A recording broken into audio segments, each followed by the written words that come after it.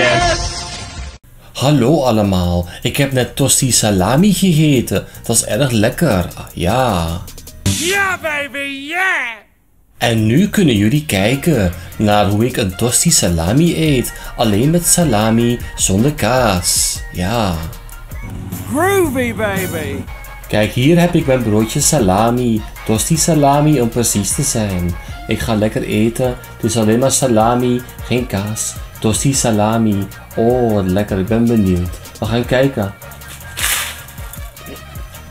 Mm. Is het lekkerste wat ik ooit gegeten heb. Ongelooflijk. Oh, wat lekker. Oeh la la. Nog lekkerder dan vappen soms, ja. Mmm, aha. Ik kan het jullie zeker ook wel aanraden om tosti salami te eten. Het is heel simpel. Je pakt twee boterhammen, brood, bruin brood of wit brood, net wat je lekker vindt.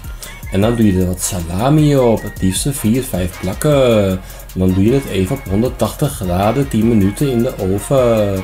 En dan is hij klaar, is Kees. Lekker. Mm.